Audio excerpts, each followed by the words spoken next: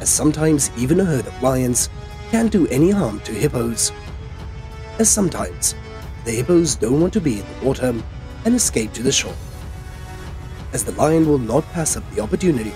to attack the hippo. But in the lion's usual party, it often chooses more moderate prey, as it is much more difficult to attack an angry hippo than it to let down its guard